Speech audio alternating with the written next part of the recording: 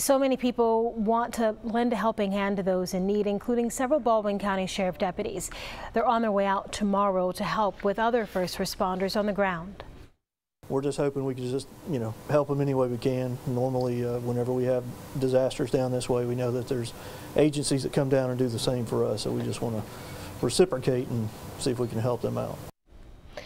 The Robertsdale Greer is donating several Boston butts that deputies are cooking overnight and taking with them tomorrow morning to give to first responders, spending their days and nights helping the victims from all of this.